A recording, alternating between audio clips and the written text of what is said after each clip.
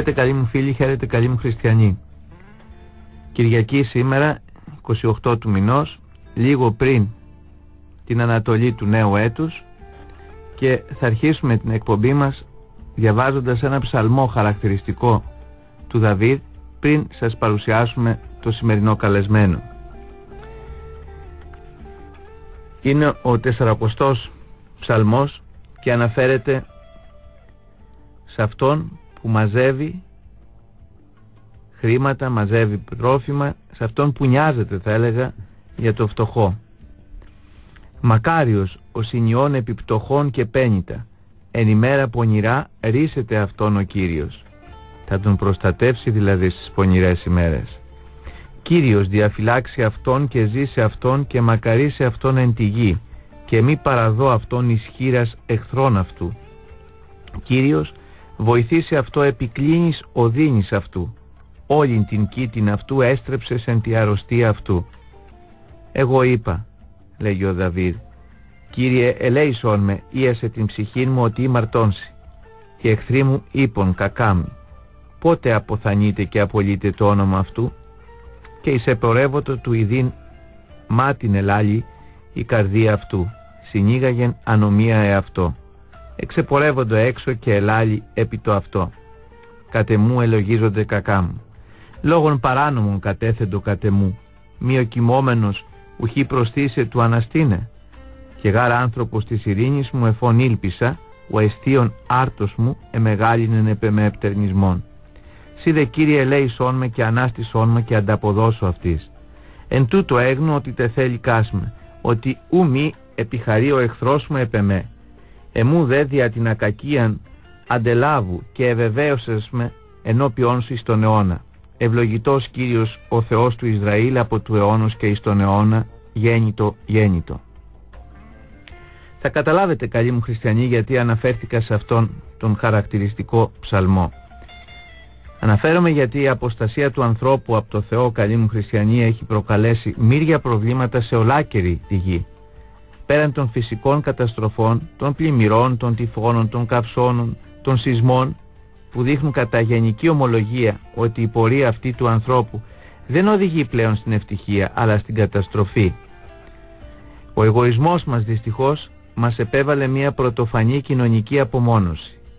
Μια απομόνωση που μας κάνει να μην βλέπουμε, ούτε να νοιαζόμαστε, ούτε να ενδιαφερόμαστε για το τι κάνει ο διπλανός μας μια απομόνωση θα έλεγα που μας κάνει να στροβιλιζόμαστε γύρω από τον εαυτό μας και να ζαριζόμαστε τόσο πολύ ώστε να μην αφουγκραζόμαστε τα βογγητά και τους βαρύς ενίοτε αναστεναγμούς του πλησίον μας και φυσικά ως τυφλοί να μην βλέπουμε το βαρύ σταυρό που σηκώνει. Μέσα λοιπόν στο πλαίσιο αυτό της αδιαφορίας για τον άλλον λειτουργούν και οι πολιτικοί και όχι μόνο οι πολιτικοί άρχοντές μας οι οποίοι ακριβώς δίνουν το στίγμα της κοινωνικής ζωής. Και αυτοί όχι μόνο δεν νοιάζονται, αλλά ταυτόχρονα επιδιώκοντας να γεμίσουν από τις διάφορες αρπαχτές και τις μίζες της τσέπες τους, είτε παραβιάζουν, είτε καταργούν, είτε ψηφίζουν νόμους της αρεσκίας τους. Ένα λοιπόν από τα θύματα της κοινωνίας μας σήμερα είναι η πολύτεκνη οικογένεια. Ξέρετε, στα σχέδια της μείωσης του πληθυσμού της γης που επεξεργάζονται οι εκφραστές του μυστηρίου της ανομίας, ο βασικός στόχος είναι γενικά η οικογένεια και δι η πολύτεκνη οικογένεια. Επιδιώκουν όλοι αυτοί όχι μόνο να καταστρέψουν την οικογένεια, νομιμοποιώντας ακόμη και τη σύζευξη των ανομάλων και ψυχασθενών, αλλά και να απελπίσουν τους νέους και τις νέες έτσι ώστε να τους αποτρέψουν να δημιουργήσουν τη δική τους οικογένεια. Ωστόσο υπάρχουν κάποιοι χριστιανοί που έρχονται σε αντίθεση θα έλεγα με το ρεύμα.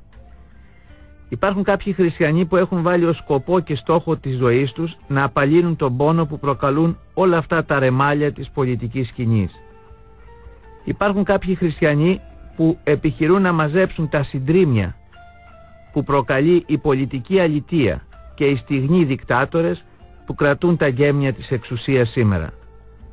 Σε πείσμα λοιπόν αυτών των εχθρών της οικογένειας, της πίστης και της πατρίδας, εμείς θα συνεχίσουμε από τη φιλόξενη συχνότητα της Πυραϊκής Εκκλησίας να παρουσιάζουμε και να ενισχύουμε με κάθε τρόπο τους συλλόγους εκείνους όπως λόγου χάρη την Πανελλήνια Ένωση Πολυτέχνων αλλά και του Θεοφίλου που καθημερινά αγωνίζονται για την πολύτεκνη οικογένεια. Σήμερα λοιπόν έχουμε τη χαρά να φιλοξενούμε εδώ στο στούντιο λίγο πριν ανατείλει το νέο έτος τον επικεφαλής του Θεόφιλου του εθελοντικού εφιλανθρωπικού οργανισμού Θεόφιλος τον καλό φίλο και αγωνιστή χριστιανό Γιάννη Ναφλιώτη. Γιάννη καλώς ήρθες και σε καλέσαμε ακριβώς σήμερα γιατί τελειώνοντας το έτος θα ήθελα να κάνουμε ένα μικρό απολογισμό της προσφοράς του Θεόφιλου μέσα στην κοινωνία το δύσκολο έτος του 2014 που μας αφήνει. Καλησπέρα Διονύση, καλησπέρα στους ακροατές μας της Πυριακής Εκκλησίας αυτού του φιλόξενου ραδιοφωνικού σταθμού που μας φιλοξενεί σήμερα και που τόσα χρόνια μας κρατά στην τροφιά και βοηθά με τον τρόπο του όλους μας. Ευχαριστώ πάρα πολύ για την πρόσκληση σήμερα. Ε, πραγματικά για μας είναι το τέλος του χρόνου σήμερα αλλά και το κλείσιμο μιας δεκαετίας. Ο Θεόφιλος ιδρύθηκε στο τέλος του 2004 περίπου και σήμερα κλείσαμε 10 χρόνια. Ε, έτσι ε, μετά από αυτή την ε, πορεία που έχουμε μέσα στο χώρο της φιλανθρωπίας αλλά και από άλλους φορείς παλαιότερα γιατί ασχολούμαστε με το φιλανθρωπικό έργο εδώ και 30 χρόνια και μέσα από άλλους φορείς αλλά και μέσα ε, και χωρίς να υπάρχουν ε, φορείς ασχολούμαστε οικογενειακώς με το θέμα ε, της στήριξης των απόρων συνανθρώπων μας και των ε, ανθρώπων που πραγματικά έχουν ανάγκη και χρειάζονται στήριξη. από πού ορμόμενοι Γιάννη αυτό, από το, το ψαλμό του Δαβίδια γενικά ως χριστιανός βλέπεις πάντα τον πλησίον; Πολύ Γιατί έχω διαπιστώσει ναι. σε σένα, που γνωριζόμαστε πολλά χρόνια, έχω διαπιστώσει ότι αυτό που σε νοιάζει είναι ο άλλος. Ναι, γιατί το νιώθω όχι μόνο εγώ, αλλά και οι συνεργάτες και οι εθελοντές όλοι στο Θεόφιλο, νιώθουμε υποχρέωση. Ε, δεν είναι ε, μόνο η αγάπη. Είναι η υποχρέωση που έχουμε απέναντι στο Θεό. Θυμάμαι χαρακτηριστικά, μείναμε στο ίδιο δωμάτιο στο ξενοδοχείο στα Αεροσόλυμα. ναι. Εκεί είχα την ε, ευκαιρία τότε να σε γνωρίσω σε αυτό το προσκύνημα, το ολιγοήμερο που κάναμε ναι. στα Ιεροσόλυμα. Και πάντα νοιαζόσουν αν έφαγε ο άλλος, αν έφαγε η κυρία Τάδε, ναι. αν πέρασε καλά ο Τάδε κύριος. Έβλεπα ότι αυτό δεν το έχει κάποιος, το έχει κάποιος έμφυτο. Δηλαδή... Ναι, δεν μπορεί να πει κανείς, ε, ε, εγώ το νιώθω ως υποχρέωση. Δεν το νιώθω τόσο ως αγάπη, ίσως είναι και αγάπη, ο Θεός ξέρει αλλά νιώθω μια υποχρέωση για τον άλλον που έχει ανάγκη. Ε, ανάγκη ε, πολύ περισσότερη από μένα. Δηλαδή θα έλεγα, ξέρεις, μου δίνεις την εντύπωση ότι το αυτί σου το έχεις στημένο στον πόνο του άλλου. Ε, ναι, μα να πάβει αυτό. Μα να πάβει αυτό. Ξέρεις τι ε, μου θυμίζει, ο Χριστός λέει ότι όταν ασχολείστε με τη δοξολογία και την ευχαριστία και αυτό που κάνεις είναι μια δοξολογία και ευχαριστία προς το Θεό το να επιδιώκεις να απαλύνεις τον πόνο του άλλου εσείς και όλα τα στελέχη που είσαστε εκεί στο Θεόφιλο τότε ο Θεός ενεργεί, παρεμβαίνει και λύνει τα δικά σας προβλήματα τα προσωπικά. Το βλέπουμε αυτό 10 χρόνια τώρα. 10 χρόνια Διονύση ζούμε το θαύμα. Δηλαδή δεν μας κάνει μια εκπομπή για να αναλύσουμε την πορεία του Θεόφιλου, δηλαδή το τι έχει γίνει από την ημέρα της ίδρυσης. Μερικά κομμάτια θα πούμε σήμερα ε, και πραγματικά ζούμε το θαύμα. Δηλαδή βλέπουμε ότι καθημερινά ο Θεός μας στηρίζει. Μας στηρίζει και μας ανοίγει δρόμους ε, φέρνοντας κοντά μας ανθρώπους που ούτε καν φανταζόμασταν ότι θα ήταν κοντά μας και οι οποίοι μας ενισχύουν ουσιαστικά. Ε, αλλά θέλω να αρχίσουμε από τον ψαλμό του Δαβίδ και από την πολύ ωραία αναφορά που έκανες που λες για το στόχο. Ε, ναι, είμαστε στόχος. Είμαστε στόχος της νέας εποχής είμαστε στόχος πολλών ανθρώπων κακόβουλων αλλά βλέπουμε ότι μέσα σε αυτό ενεργεί ο Θεός, ενεργεί ο Θεός και βλέπουμε ότι είμαστε και στόχος του Θεού.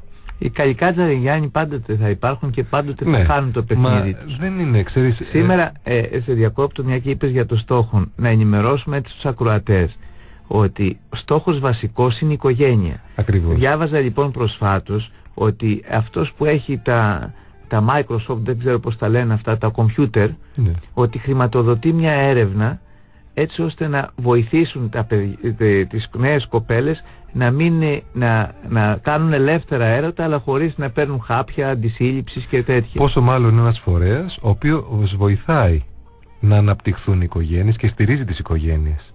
Και μάλιστα, με, ξέρεις ε, Διονύση, με την εμπειρία που έχουμε περάσει όλα αυτά τα χρόνια, έχουμε βρει φέτος ε, και το εφαρμόζουμε εδώ και ένα χρόνο περίπου, έναν πολύ πρωτότυπο και ουσιαστικό τρόπο. Γιατί υπάρχει ο εξής, ξυ- ο εξής κίνδυνος. Μέσα από τη φιλανθρωπία να κάνουμε τον άλλο τεμπέλη.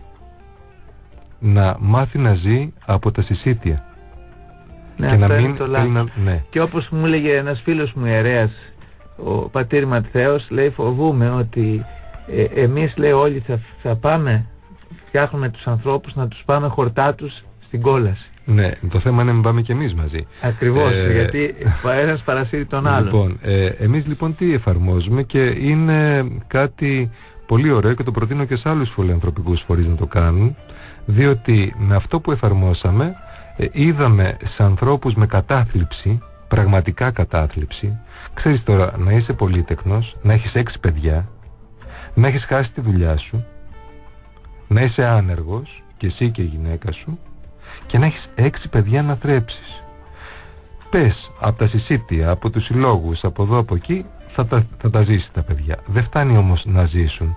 Θέλουν και ε, σχολικά είδη, θέλουν και φροντιστήρια, θέλουν χιλιαδιό. Πρέπει να έχεις εισόδημα Ξέρετε, σήμερα. ε, Γιάννη, αυτό που ακούγεται ας πούμε, και είναι αρνητικό για μένα, ότι αυτός που έχει πολλά παιδιά έχει πολλά προβλήματα. Ε, έχει πολλά προβλήματα, είναι μικρά τα παιδιά του. Ναι, εγώ νομίζω ότι Ναι. αυτός που έχει πολλά παιδιά δεν έχει προβλήματα. Έχει ευλογία. Έχει Γιατί, μεγάλη κοίταξε, ευλογία. Ξέρετε πότε έχει, ε, πότε έχει προβλήματα μια οικογένεια. Και αυτό θα το λέω συνέχεια. Όταν δεν έχει παιδιά. Όταν έχει προβλήματα, όχι μόνο όταν δεν έχει παιδιά, αυτό είναι α, ανέκαθεν, αλλά έχει προβλήματα όταν δεν έχει κέντρο στη ζωή του το Χριστό. Χριστό, ακριβώς. Αυτό είναι. Και σήμερα έχουμε παρασυρθεί. Ε, θέλω Νομίζω όλα τα προβλήματα που δημιουργούνται στις οικογένειες είναι, απα- δείχνει ακριβώς αυτή την έλλειψη του και την παρουσία του Χριστού. Με τον καινούριο χρόνο, αν θέλει ο Θεός, ε, θέλω να κάνουμε μια έρευνα, αν και εμείς ε, την έχουμε την έρευνα γιατί βλέπουμε τους πολιτές κάθε μέρα, να δούμε πόσες πολύτεκνες οικογένειες θρησκεύουν. Ε, κατά τη γνώμη μου θρησκεύουν το 90%. Ναι, από τις και- πολιτικές γι' αυτό οικογένειες. λέω είναι οι πιο ευτυχισμένες. Ναι. Ε, έχουν δηλαδή, όταν λέω θρησκεύουν, δεν έχουν σχέση απλή με την Εκκλησία. Έχουν εξομολόγηση, έχουν θεία κοινωνία, έχουν αναπτύξει πολύ την υπομονή, ξέρει ο Θεός πότε θα μας δώσει. Αυτό το Ε, έχει ο Θεός, το έχουμε εδώ στην Ελλάδα. Ναι, Το έχει ο Θεός. αλλά το πιστεύουν. Είναι μεγάλη ευλογία. να ναι, το ναι, και το πιστεύουμε. πιστεύουν, το Ναι. πιστεύουν. Βλέπουμε δηλαδή ανθρώπους ε, που ε, έρχονται, ζητούν με πολύ ευγένεια κάτι, ε, αν έχουμε να τους το δώσουμε, τους το δίνουμε. Αν δεν έχουμε πάλι, δεν ε, στεναχωριούνται. Πα- δεν χάνουν το, το χαμόγελό τους. Βέβαια βλέπουμε όπως είπα και πριν και ανθρώπους που έχουν πέσει σε κατάθλιψη. Έτσι λοιπόν, με τη χάρη του Θεού, μας φώτισε ο καλός Θεός και εφαρμόσαμε την ανταλλακτική οικονομία. Την ανταλλακτική οικονομία. Θα μας το πεις θα αυτό το να πούμε κάνουμε μετά. ένα μουσικό διάλειμμα και αμέσως θα περάσουμε σε Βεβαίως. αυτό το κεφάλαιο.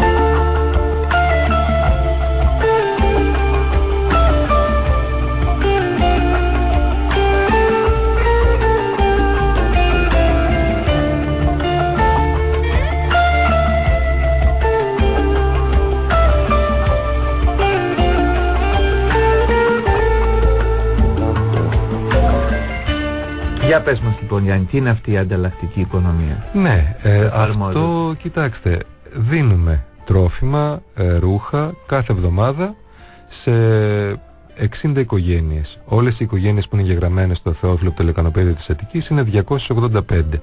Ναι. Εναλλάσσονται λοιπόν κάθε εβδομάδα και δεν έχουμε τόσες μεγάλες ποσότητες σε τρόφιμα και σε ρούχα υπάρχει προσφορά η αλήθεια είναι αλλά στο τρόφιμα δεν έχουμε δυστυχώς τόση μεγάλη ε, προσφορά και κάνω έκκληση εδώ στους ακροατές μας. Αν μπορούν να μας ενισχύσουν σε τρόφιμα έχουμε πολύ μεγάλη ανάγκη. Από τα άλλα είδη και όλα χρειαζόμαστε δηλαδή και ρούχα μεταχειρισμένα σε πολύ καλή κατάσταση και υποδήματα και παιχνίδια κυρίως. Ε, αλλά τα τρόφιμα μας είναι πολύ απαραίτητα γιατί μια πολύτεκνη οικογένεια δεν επαρκούν τα τρόφιμα όσα και να έχει, είναι πολλά στόματα. Ε, έτσι ας έχουν υπόψη τους οι ακροατές μας. ε, ότι έχουμε ανάγκη από τρόφιμα. Αν δεν μπορούν να στείλουν, υπάρχουν λογαριασμοί του Θεού, μπορούν να καταθέσουν χρήματα για να μπορέσουμε να αγοράσουμε.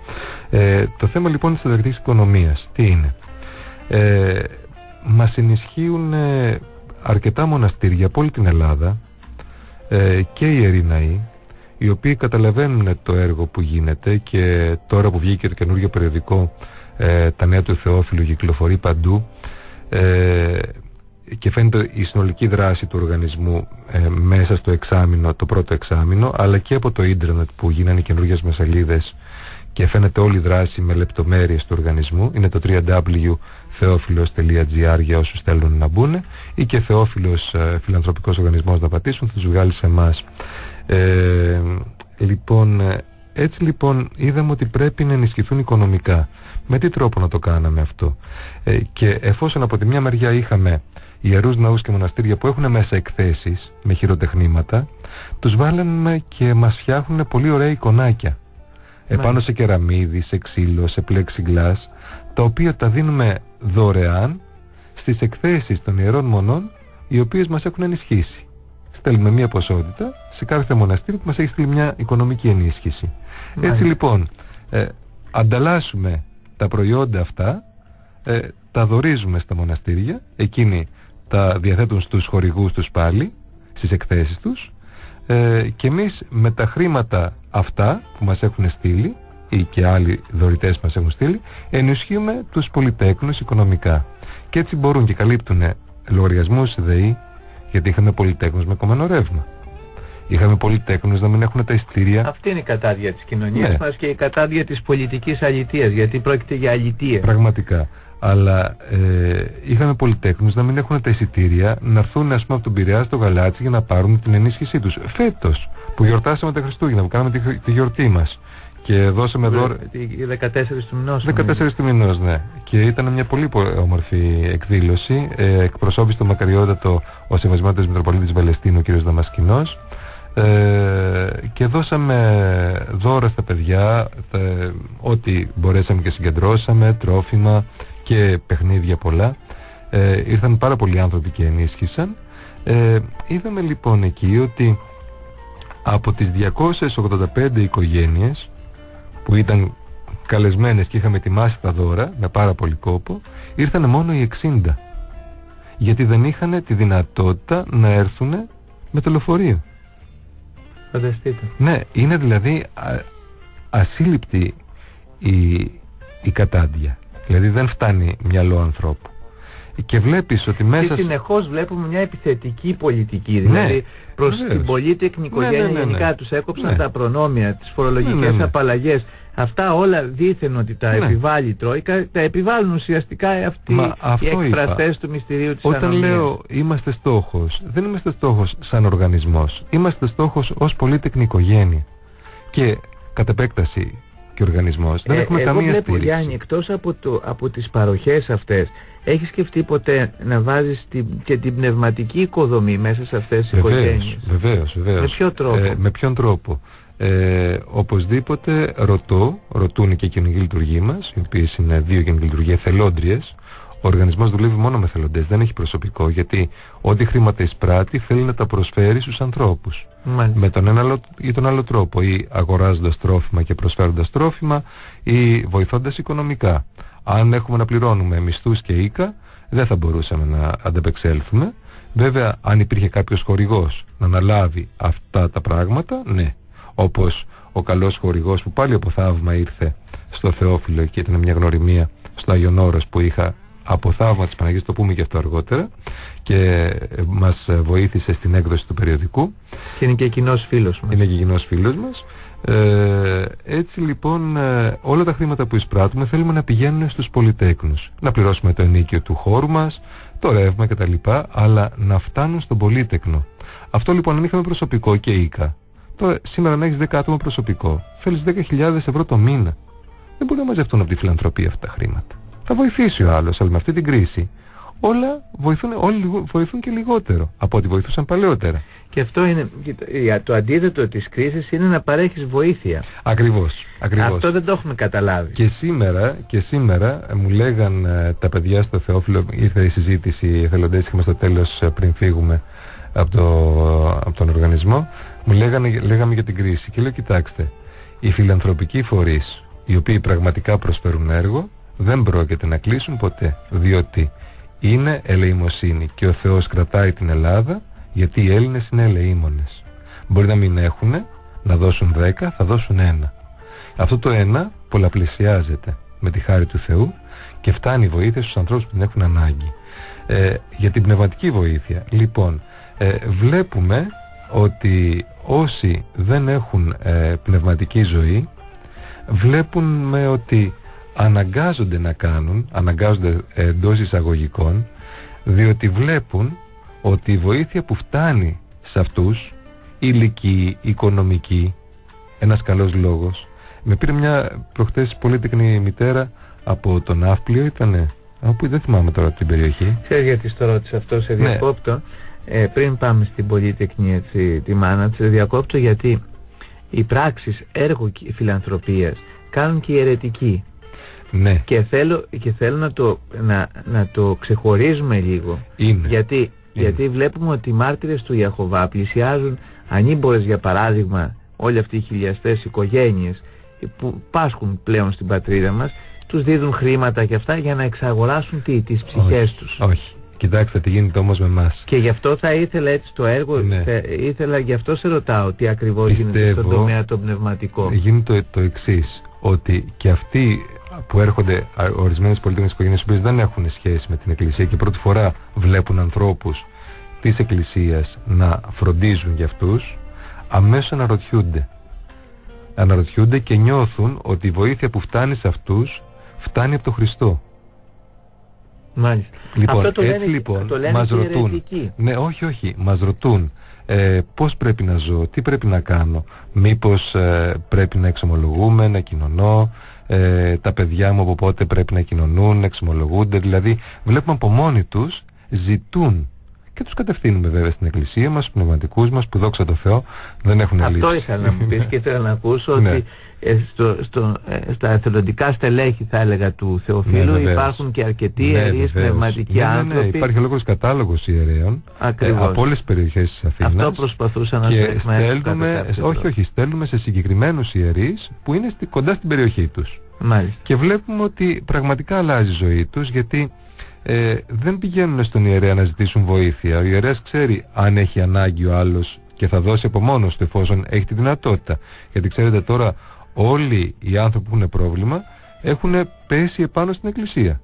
Λοιπόν, αλλά και η εκκλησία έχει δυνατότητες και το κύριο έργο της εκκλησίας μας όπως ξέρουμε όλοι δεν είναι η- το υλικό, είναι το πνευματικό. Ακριβώς. Βλέπουμε και από το Ευαγγέλιο Θα σου ότι- πω κάτι που έγινε, ένα θαυμαστό γεγονός Ναι, ναι. που έγινε στο Βύρονα Ναι. από μια κοπέλα η οποία ήταν φοιτήτρια και της έστειλε η μητέρα της και ο πατέρας της έστειλαν το μηνιαίο έτσι εισόδημα που για να περάσει το μήνα της αυτή είχε αγοράσει ένα κομπιούτερ με κάποια εργασία που έκανε μαζί παράλληλη με τις σπουδές της αλλά πήγε πε- πηγαίνοντας στο σπίτι βρήκε ότι είχε, ανοι- ήταν ανοιχτή η πόρτα είχε Μμ. γίνει διάρρηξη της είχαν πάρει τα λίγα χρήματα και το κομπιούτερ Μμ. το πρώτο λοιπόν που έκανε ήταν να πάει στην εκκλησία, να ανάψει ένα κεράκι και να προσευχηθεί. Εκεί την ώρα που πήγε στην, εξ- στην εκκλησία στο Βύρονα, στην ανάληψη μάλλον έγινε, ήταν μια συντροφιά. Ήταν τότε που είχε πρωτοκυκλοφορήσει ο Τρελογιάννης και τον διάβαζαν τότε. Το, διάβαζαν το βιβλίο. Και την είδαν θλιμμένη και τη ρώτησε ο ιερέας, λέει γιατί είσαι ρε, Ε, ήταν κλαμμένη. Και λέει παππούλη με έκλεψαν, έκανα αυτό, αυτό, αυτό και αυτό. Τα άκουγαν όλοι, δεν μίλησε κανείς. Ούτε ο παππούλης. Ε, λέει, έχει ο Θεός παιδί μου, του λέει. θα, θα πάρεις τηλέφωνο τη μαμά, κάτι θα σου στείλει, είπε ο παππούλης. Πάλι δεν πρόκειται να σε αφήσω έτσι ο Θεούλης. Ότι πριν ακόμη καταφέρει να επιστρέψει, ποιος έφυγε κάποιος από την παρέα, φύγαν αρκετοί πριν, βρήκε φακέλους κάτω από την πόρτα της, από αγνώστους δεν είχαν με χρήματα, τώρα μέσω, μέσω, μέσω κρίσης με χρήματα τα οποία όχι μόνο αγόρασε καινούργιο κομπιούτερ αλλά είχε και διπλάσιο, διπλάσια χρήματα από αυτά που της είχε στείλει η μητέρα της και ζούσε το θαύμα αυτή δεν ζήτησε τίποτε πήγε να προσευχηθεί στο ναό Έτσι. είπε τον πόνο της. Αλλά ο Θεός ανταποκρίθηκε με αυτόν τον τρόπο. Πάντα ανταποκρίνεται. Εμείς το βλέπουμε σου είπα και πριν Διονύση 10 χρόνια τώρα. Βλέπουμε ε, το καλοκαίρι που μας πέρασε όχι πιο νωρίς γύρω στο Πάσχα ε, θέλαμε να κυκλοφορήσει πάλι το περιοδικό του Θεόφιλου γιατί παλιότερα βγάζαμε την εφημερίδα αλλά μετά λόγω της οικονομικής κρίσης δεν είχαμε δυνατότητα να κυκλοφορήσει αυτό το έντυπο. Και εμείς όπως είπα και πριν ό,τι χρήματα συγκεντρώνουμε τα δίνουμε αμέσως για τις ανάγκες των ανθρώπων. Έτσι δεν είχαμε δυνατότητα να βγάλουμε ένα περιοδικό, να κυκλοφορήσουμε ένα νέο περιοδικό. Έτσι είχα πάει στο Αγιον Όρος και ήθελα να πάω στη Μονή Καρακάλου Λέω τι ώρα φεύγει το λεωφορείο, μου λένε στην ένα τέταρτο. Α, ωραία, λέω, τότε να πάω στα άξονα να προσκυνήσω. Και προσκύνησα και λέω Παναγία μου, σε παρακαλώ, δώσε μια λύση σε αυτό το θέμα. Και μόλις βγήκα από το άξιο εστί, από το πρωτάτο, ε, γνώρισα έναν άνθρωπο, εντελώς τυχαία, που μου λέει με τι ασχολείσαι και όλα αυτά, του είπα ότι είμαι πρόεδρος σε ένα φιλανθρωπικό οργανισμό στο Θεόφιλο κτλ. Ε, μου λέει θα έχετε ανάγκες. Ε, πολλές λέω είναι ανάγκες, ε, ό,τι μπορούμε κάνουμε, ό,τι μας φωτίζει ο Θεός και ό,τι στέλνει. Ε, θα κατέβω μου λέει στην Αθήνα και θα μιλήσουμε. Ήρθε λοιπόν στην Αθήνα και μου λέει αυτό που ήθελα. Ε, κοίταξε μου λέει Γιάννη. Το πρώτο πράγμα που πρέπει να γίνει είναι να κυκλοφορήσει το περιοδικό. Εγώ μου λέει θα το χρηματοδοτήσω. Ξέρεις να μιλήσουμε, το όνομά του είναι Ηλία, δεν θα πούμε το επώνυμο. Ο Ηλίας να ξέρετε επειδή είναι και κοινός φίλος και δεν θα, το, δεν θα νομίζω θα με συγχωρέσει που έκανε έτσι αναφορά πήρε ευλογία από το Γέροντα. Έχουμε τον ίδιο Γέροντα. Το γνωρίζω. Έχουμε, Είναι, είναι ο πατήρ Φιλόθεος στην Καρακάλου.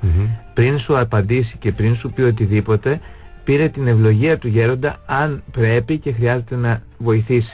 Ναι, ναι, να το ξέρω. Και χωρίς την ευλογία ε, ο Ηλίας δεν λειτουργεί στη το ζωή. ναι, και γι' αυτό η ζωή του όλη είναι ένα θαύμα. Μα και η λειτουργία του Θεόφιλου με ευλογία έγινε. Ναι.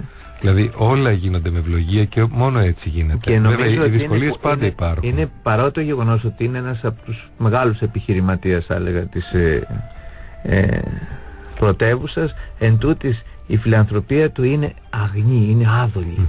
Δηλαδή προσφέρει στον άνθρωπο. Έτσι. Ας το κλείσουμε όμως το κεφάλαιο αυτό Βεβαίως. γιατί... Και να πάμε σε ένα άλλο θαύμα. Δεν θα μου μιλάει για ένα μήνα ο Ηλίας μετά από αυτές Και να πάμε σε ένα άλλο θαύμα που ζήσαμε ε, τότε με τις φωτιές στην Ηλία. Ήταν ναι. Αύγουστος. Ήταν Αύγουστος του 2008. Πριν πάμε εκεί θέλεις να σου πω κι εγώ ότι ναι. όλη τη σταδιοδρομία μου την οφείλω σε ένα καλό που έκανα σε μια πολύτεκνη οικογένεια. Είδες. Μα κοίταξε, η πολύτεκνη οικογένεια έχει χάρη, έχει ευλογία. Έχει ευλογία. Γιατί είναι, τα παιδιά έχουν χάρη, είναι άγγελοι. Ε, και μπορούν να, να καλλιεργηθούν ως άγγελοι. Εγώ, αν οι γονείς ναι, εγώ το λέω και θα το αναφέρω αυτό και, και πρώτη φορά έτσι. Ότι από την πολύτεκνη οικογένεια γνώρισα τη γυναίκα μου. Έπιασα, είχα τη σταδιοδρομία που είχα ως δημοσιογράφος πλέον και γνώρισα την πραγματική, σιγά σιγά γνώρισα την πραγματική σημασία που έχει ο Χριστός στον κάθε άνθρωπο. Δόξα τω Θεώ, δόξα τω Θεώ. Ε, ήταν μια πολίτικη θα σου πω, ε, ως φοιτητής τότε στη θεολογική σχολή, ε, μια συμφοιτήτρια είχε ακριβώς ένα σπίτι, νίκιαζε ακριβώς απέναντι από τη θεολογική σχολή εδώ στο Πανεπιστήμιο και συνήθως στα διαλύματα όταν είχαμε κάποιο κενό μαζευόμαστε μια παρέα φοιτητών 10-20 άτομα και κάναμε συζητήσεις εκεί. Κάποια στιγμή λοιπόν σε μια τέτοια σύναξη ήρθε η αδελφή της κοπέλας αυτής η οποία έμενε μαζί αυτή σπούδαζε στη φιλοσοφική. Και ήρθε λίγο αναστατωμένη και μας λέει ότι έξω από το σπίτι της έτρωγε μια σοκολάτα και είδε ένα παιδάκι που την κοιτούσε επίμονα και την πλησίασε σαν να πεινούσε αλλά δεν το κατάλαβε και μόλις μπήκε στο ασανσέρ αισθάνθηκε ότι μάλλον πεινούσε. Και μόλις το λέει αυτό λέω εγώ να κατέβουμε να το βρούμε το παιδί μήπως δεν θα έχει φύγει μακριά. Πόση ώρα έκανες, δύο λεπτά, τρία. Κατεβαίνουμε λοιπόν κάτω με έναν άλλον φίλο, είναι ιερέα σήμερα αυτός, είναι στη Λιβαδιά. Κατεβαίνουμε λοιπόν κάτω, ψάχνουμε πραγματικά να βρούμε το παιδί, το βρίσκουμε και μας οδηγεί στην οικογένειά του, η οποία ήταν μια ε, πολύ τέκνη οικογένεια, υπέφερε, ζούσε σε δραματική κατάσταση το 90, όταν λέω που ήταν περίοδος άλλη για ναι, την Ελλάδα. ναι. Λοιπόν, ζούσε σε δραματική κατάσταση, ήταν 8 παιδιά είχε η οικογένεια και δεν ξέρω τι μου ήρθε εκεί. Ε, άδειασε το πορτοφόλι μου. Είχα όσα χρήματα είχα, δεν είχα πολλά χρήματα, αλλά όσα χρήματα είχα το άδειασα και είχα μόνο τη, το μηχανάκι και τη βενζίνη τότε να γυρίσω στο σπίτι, τίποτε άλλο. Και έφυγα. Ε, μάλιστα τότε δούλευα σε άλλο τομέα στην καθημερινή την εφημερίδα και δούλευα ως ε, υπεύθυνος συνδρομών. Και είπα στον ε, υπεύθυνο εκεί του ελεύθερου ρεπορτάζ να στείλει ένα φωτογράφο και ένα δημοσιογράφο να γράψουν για την οικογένεια αυτή μη τυχόν να μπορέσουμε να τη βοηθήσουμε, να μάθει ο κόσμος να τη στηρίξει. Και έτσι μου έλεγε αυτός θα στείλω και δεν έστελνε. Είναι, θα στείλω δεν έστελνε, τον παρακαλούσα μέρες μου λέει... Δεν ενδιαφέρε το θέμα τέλος Ναι, γράψα, δεν πουλάει. Ναι, ακριβώς αυτό είναι. δεν πουλάει. ναι, ναι. Λοιπόν, έτσι το λέγαμε εμείς τώρα. Ναι, ναι. Λοιπόν, μου λέει γράψε εσύ ένα κείμενο και θα στο βάλω. Γράψτε εσύ και θα δούμε. Μου λέει θα το διορθώσουμε, θα το φτιάξουμε. Έγραψα λοιπόν ένα κείμενο, αυτός έστειλε μόνο το φωτογράφο, πήρε δύο φωτογραφίες εκεί από την οικογένεια και το έδωσε στην εφημερίδα. Που εγώ δεν, είχα, δεν είχα ασχοληθεί με τη δημοσιογραφία μέχρι τότε. Και ξαφνικά με καλεί τότε ο διευθυντής της εφημερίδας, ο Μακαρίτης, ο Αντώνης ο Καρκαγιάννης και μου λέει έχεις σκεφτεί ποτέ να γίνεις δημοσιογράφος τότε δεν υπήρχαν σχολές δημοσιογραφίας Είδες το καλό που έκανες αμέσως μου λέει, στον έχεις σκεφτεί να γίνεις δημοσιογράφος λέω δεν το σκεφτόμουν αλλά να πω δεν το επιδίωκα τόσο πολύ γιατί σπούδαζα θεολογία είχα άλλο προσανατολισμό μου λέει θα γράφεις, θα, με, θα μεταφερθείς, θα κρατήσεις τη θέση αλλά ταυτόχρονα θα βοηθάς και στο ελεύθερο ρεπορτάζ. Και έτσι αμέσως μου άνοιξε μια πόρτα. Είδες, είδες, είδες. Η δεύτερη πόρτα που ήταν, ήταν ότι μέσα σε αυτό το σπίτι γνώρισα και τη γυναίκα μου. Είδες, αυτό είναι. Αυτό είναι. Δηλαδή είχα δύο καλά από μια έτσι επαφή ε, γνωρι, μια φιλανθρωπία που δεν είναι μέσα σε εισαγωγικά, Μα δεν ήταν φιλανθρωπία. Εμείς έχουμε στη, στο Θεόφιλο, όπως είπα, δουλεύουμε με θελοντές. Έχουμε περίπου 20 εθελοντές οι οποίοι είναι πολύτεκνοι και δουλεύουν εθελοντικά στον οργανισμό. Ε, δεν πληρώνονται και έχουν ανάγκες. Κάποιοι από αυτούς είναι άνεργοι. Έχουν μικρά ανήλικα παιδιά.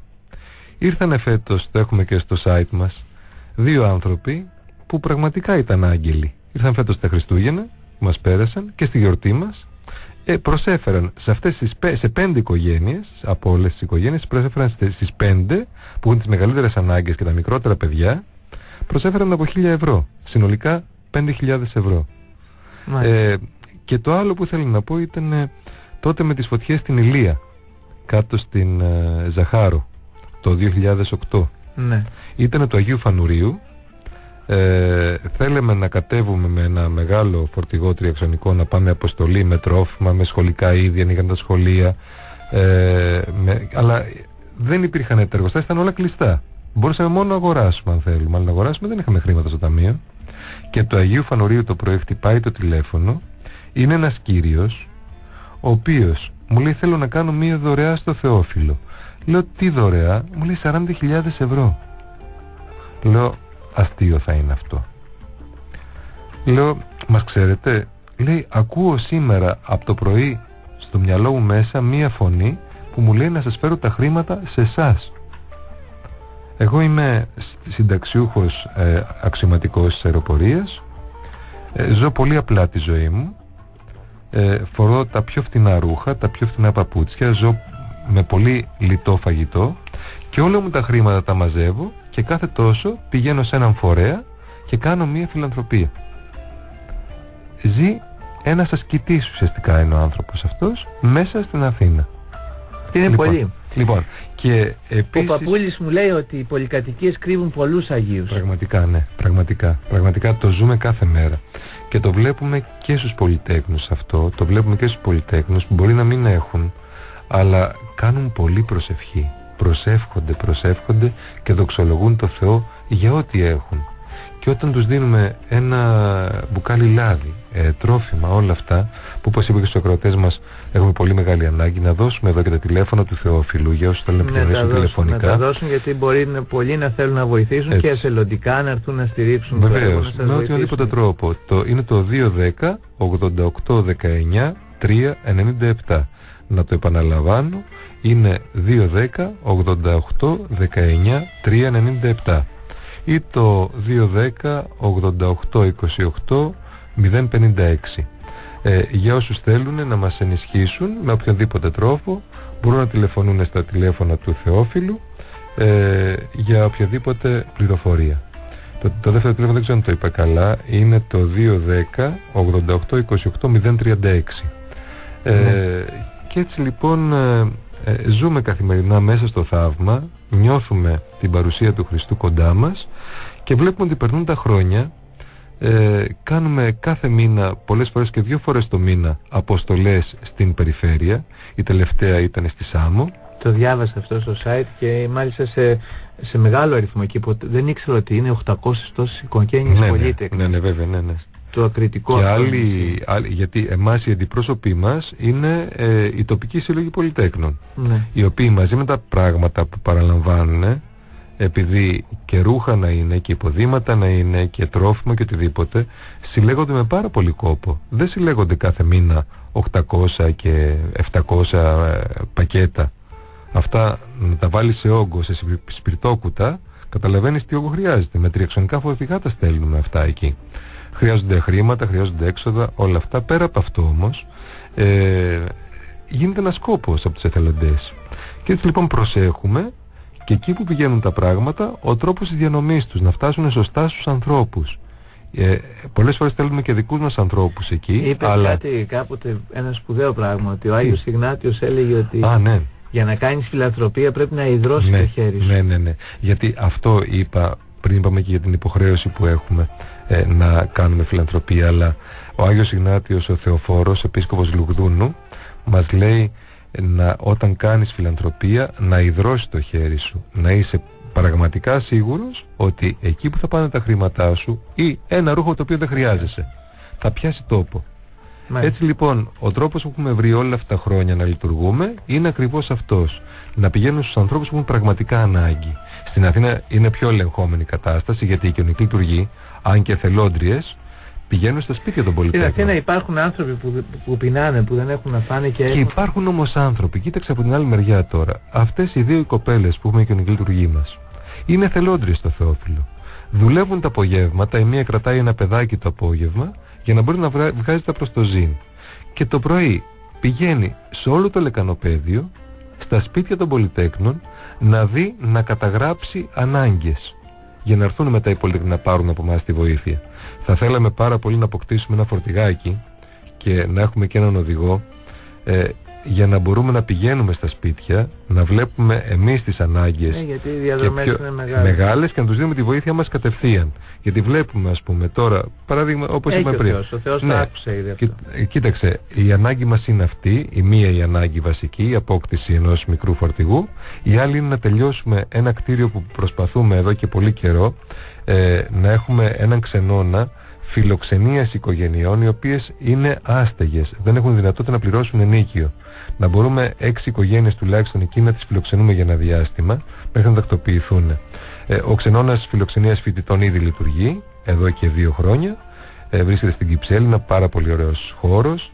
Τον ε, διακόσμησε μια πολύ γνωστή αλυσίδα καταστημάτων ε, με τα, τα πάντα μέσα τον έχει εξοπλίσει και εκεί μένουν φοιτητές από την περιφέρεια χωρίς να πληρώνουν ενίκιο. Αυτό είναι πολύ μεγάλη βοήθεια για τους φοιτητές ε, της περιφέρειας που θέλουν να σπουδάσουν στην Αθήνα και δεν έχουν δυνατότητα και να πληρώσουν πολλά παιδιά, πολλά παιδιά ναι. δεν ξέρουν να Βεβαίως. αφήνουν τις σπουδές τους επειδή δεν έχουν χρήματα οι γονείς τους να... Πάρα πολλά είναι τα έργα και οι στόχοι. Εγώ ε, έχω ένα φίλο ο οποίος είναι και γιατρός και έχει δύο παιδιά σπουδάζει. Mm-hmm.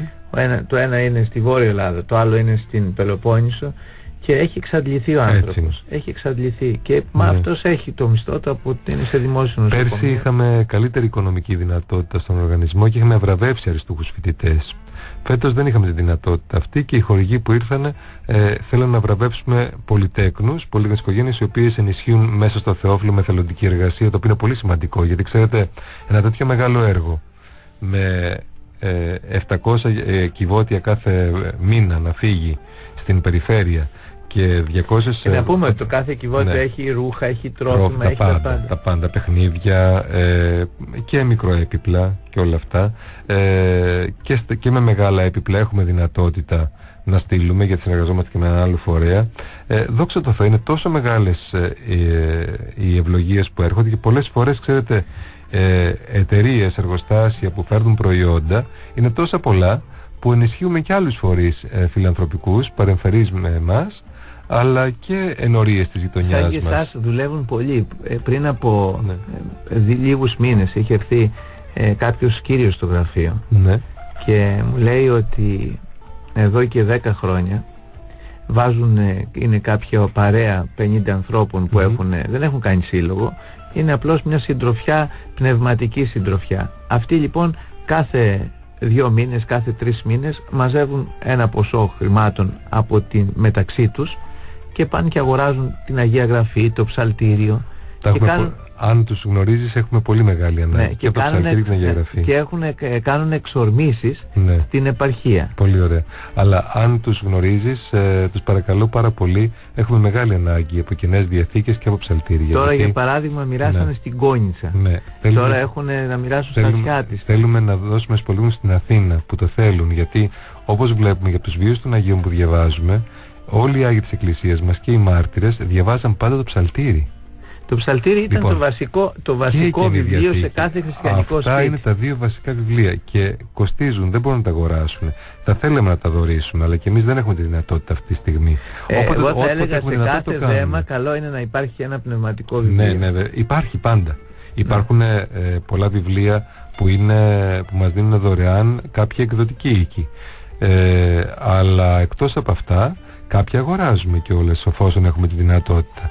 Και έτσι πάντα υπάρχει αυτό, πάντα υπάρχει αυτό και υπάρχουν και όπως είπαμε και πολλοί πνευματικοί άνθρωποι, ιερείς, οι οποίοι έρχονται και στο Θεόφιλο, βλέπουν και τους πολυτέχνους, όπως είχαμε προχθές την χαρά να έχουμε το σεβασμένο του Μητροπολίτη Βελεστίνου, τον κ. Δαμασκηνό, ο οποίος εμείς τον θεωρούμε παππού του Θεόφιλου, γιατί είναι πάντα κοντά μας, είναι πάντα κοντά μας σε όλες τις εκδηλώσεις. Είναι καλός άνθρωπος. Έχει, πάρα πολύ καλός έχει άνθρωπος. Έχει καλή διάθεση και έχει πολύ αγάπη και, και δυνατή πίστη. Ακριβώς και έχει και πολύ όμορφο χιούμορ και έτσι ε, μας αναπαύει πάρα πολύ αυτός ο άνθρωπος. Εμένα είναι προσωπικά φίλος ναι, μου ναι. και τον αγαπώ έτσι πάρα πολύ γιατί είναι ταπεινός, έχει ταπεινό φρόνημα και αυτό τον βοηθάει και τον ξεχωρίζει θα έλεγα. Πραγματικά, ναι, ναι, πραγματικά, πραγματικά. Δόξα Να κάνουμε ένα δεύτερο διάλειμμα πριν προχωρήσουμε την συνέχεια της συζήτησης.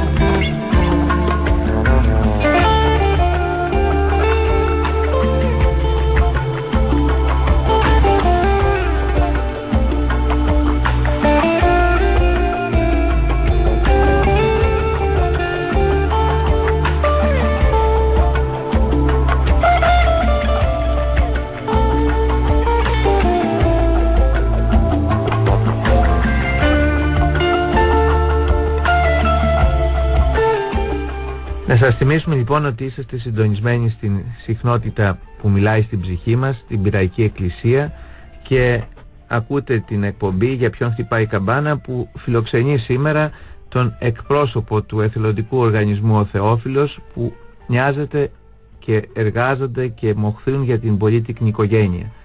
Και θα ήθελα λοιπόν Γιάννη μου κάνουν, κλείνοντας έτσι σε λίγο την εκπομπή να μας πεις ενδεικτικά για το 2014 την προσφορά του Θεόφιλου στην ελληνική κοινωνία. Βεβαίως. Η οποία μαστίζεται όπως ξέρουμε από την οικονομική και πνευματική κρίση. Έτσι.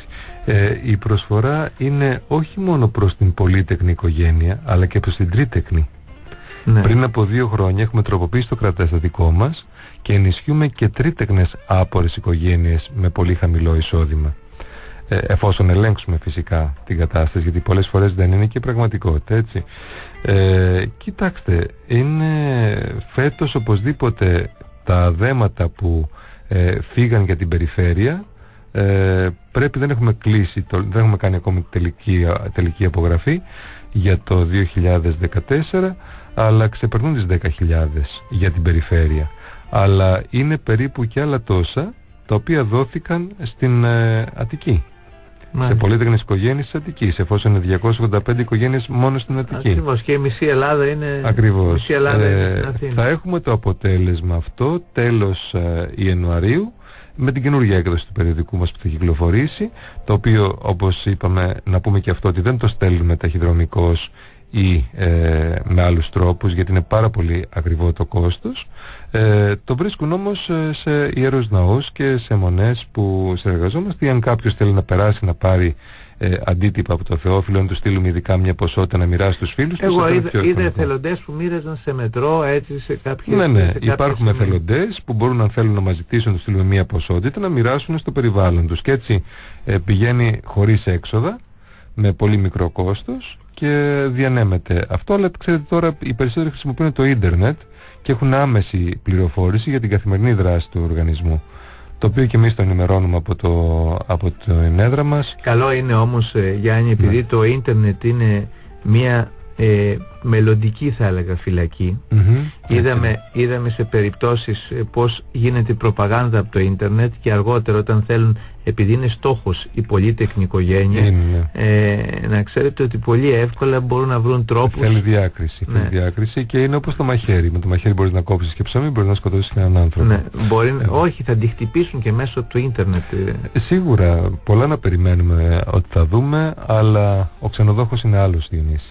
Έτσι γίνεται πάντα οι Άλλος είναι ο καλικάτζαροι ξενοδόχος. πάντα θα Ναι. πριονίζουν το Όπως δέντρο της είπαμε ζωής στην αλλά η αρχή. ζωή πάντα Ναι, γιατί θα, θα ε, βγαίνει ξανά από την αρχή γιατί γε- ο Χριστός γεννιέται έτσι και γεννιέται γεννιέται. στις ψυχές των ανθρώπων Ακριβώς και είναι ε, πάνω απ' όλα ας πούμε, ε, μας φιλοξενεί. Είμαστε όλοι φιλοξενούμενοι. στον όλοι... απελώνα του είναι. Ακριβώς. Όλοι φιλοξενούμαστε και όλοι θα ουσιαστικά, δώσουμε... ουσιαστικά θα έλεγα ότι είναι ο, ο σύλλογος, ο φιλανθρωπικός ε, οργανισμός του Θεόφιλου είναι κάποιος διαχειριστής που διαχειρίζεται Ο Θεός τα είναι. του αμπελών. Μπράβο, ακριβώς. Ο Θεός είναι πίσω από όλα αυτά. Έτσι, ακριβώς. Έτσι είναι. Έτσι, μου κατευθύνει τους πάντες. θα ε, φέρει και τα τους πάντα. εθελοντές, θα φέρει Μα τους το βλέπουμε, χορηγούς, το βλέπουμε, το βλέπουμε. θα φέρει την αγάπη. Απλώς ε, ε, αυτό που θα πρέπει και το τονίζω σε, έτσι, σε όλους τους ανθρώπους, το τονίζω πρώτα για να τα ακούω εγώ ο ίδιος, είναι ότι να μην ξεχνάμε τα λόγια του Χριστού μας, του γλυκύτα του Ιησού που έλεγε ότι όταν δοξολογείτε τον Πατέρα μου και τον ευχαριστείτε για αυτά που σας προσφέρουν, τότε εκείνος είναι υποχρεωμένος, θα το έλεγα εγώ Έτσι. κατά κάποιο τρόπο, να σας καλύψει όλες τις υπόλοιπες ανάγκες σας, έτσι ώστε να βαδίσετε σωστά και σταθερά, όχι μέσα στην κρεπάλη όπως νομίζουν πολλοί ότι θα μου δώσει τότε αυτό, θα πάρω αυτό, θα πάρω το τάδε σπίτι, να βαδίζετε σωστά μέσα στην οδό της σωτηρίας. Ξέρεις πόσο Και η σημαντικό... οδός της σωτηρίας σε διακόπτου δεν είναι... Ε, θέλω να αναφέρομαι στον πλούσιο και στο φτωχό Λάζαρο. Έτσι. Ο Λάζαρος ήταν ακριβώς με τα λίγα που είχε, με τα ψίχουλα που έπαιρνε, ήταν στην οδό της σωτηρίας. Και είχε και όνομα στο Και- Ευαγγέλιο. ναι, ο, ο και έχει πλούσιος και δεν, όνομα. Είχε, δεν έχει ο όνομα καν. πλούσιος έφυγε ανώνυμος. Ανώνυμος. Ο Λάζαρος άφησε την ιστορία.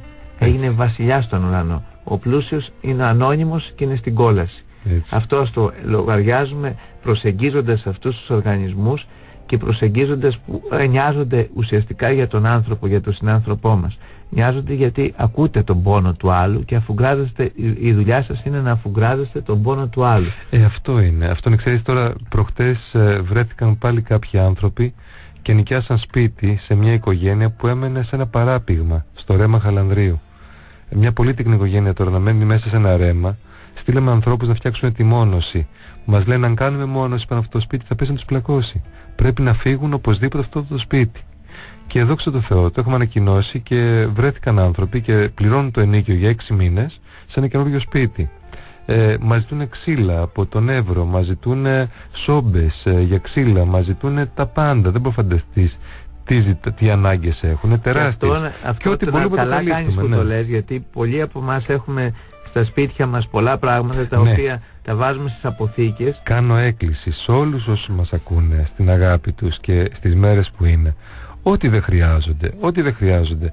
Όχι μόνο στο Θεόφιλο, αλλά οπουδήποτε να το δώσουν που να πιάσει τόπο. Εγώ θα το πω, θα το πω αλλιώς. Ναι. Εγώ δεν θα συμφωνήσω με την άποψή σου. Εγώ θα πω το εξής και να τα ακούσω εγώ πρώτος. Ναι. Αδειάζοντας την τουλάπα, γεμίζει. Θα τη γεμίσετε στο άψες βίστη, ναι. θα τη γεμίσει ο Θεός. Ναι, γεμίζει Όσο αγάπη. προσπαθείτε, αυτό μου έλεγε ένας ναι. γέροντας στο Άγιο Όρος. Ναι. Προσπαθώ παιδί μου να διάσω το σακούλι που μου γεμίζει ο Θεός ναι. και δεν τα καταφέρνω. Ναι, ναι, ναι. Δηλαδή μόλις φτάνει στον πάτο πάλι την άλλη μέρα είναι γεμάτο. Το βλέπουμε. Εμείς έχω δώσει εντολή στις κοπέλες που είναι στην αποθήκη με τα τρόφιμα κάθε εβδομάδα που έρχονται οικογένειες που έχουμε επιλέξει να πάρουν τρόφιμα να μην μένει τίποτα στο ψυγείο και για λόγους ασφαλείας γιατί είναι γιαουρτί, είναι πράγμα γάλα το οποίο λύγει σε λίγες μέρες και πρέπει να φύγει ναι. αλλά δεν θέλω να κρατούμε καθόλου τρόφιμα στην αποθήκη και αμέσως γεμίζει, ε, γεμίζει. αμέσως έρχονται άλλοι πραγματικά ε, σας λέω δεν φτάνουν για όλους αλλά για αυτούς τους ανθρώπους φτάνουν που μπορούμε δόξα τω Θεώ με τη χάρη του Θεού ε, να δώσουμε ακόμη μια φορά το τηλέφωνο του Θεού. Να το δώσει Γιάννη, να το Είναι δώσεις. το 210 88 19 397. 210 88 19 397 και η έδρα μας είναι Παπαφλέσα 9 στο Γαλάτσι. Δώσε και το άλλο τηλέφωνο για μια εναλλακτική. Και είναι το 210 88 28 036. Πολύ ωραία. Να είστε καλά πιστεύω ότι με όλα αυτά που ακούσαμε θα ανταποκριθούμε και δεν χρειάζεται, δεν χρειάζεται να κάνουμε πολλά πράγματα. Χρειάζεται μόνο να έχουμε καλή διάθεση στην καρδιά. Αυτό, αυτό ευλογεί ο Θεός και αυτό μετρά για το Θεό. Ε, με όλα αυτά θα ευχηθώ στους όλους τους ακροατές που μας άκουσαν καλή χρονιά και ευλογημένη Αμήν. και, καλή και είναι ένα έτος το οποίο εύχομαι στον καθένα προσωπικά από εσάς και στον οργανισμό και τις πολίτες της οικογένειας να είναι ένα βήμα ακόμη πιο κοντά στο Χριστό, πιο κοντά στη σωτηρία μας. Αμήν. Έτσι να το δούμε το 2015, ένα βήμα πιο κοντά στη σωτηρία μας. Ε, αυτό είναι το βασικό για όλους μας. Ευχαριστούμε πάρα πολύ και εμείς, εκ μέρους όλων των Πολυτέχνων που είμαστε σήμερα κοντά σας και τους αγροατές που μας άκουσαν ε, όλη αυτή την Και εγώ σας ευχαριστώ που μας τιμήσατε με την παρουσία σας. Χαίρετε καλή μου χριστιανοί.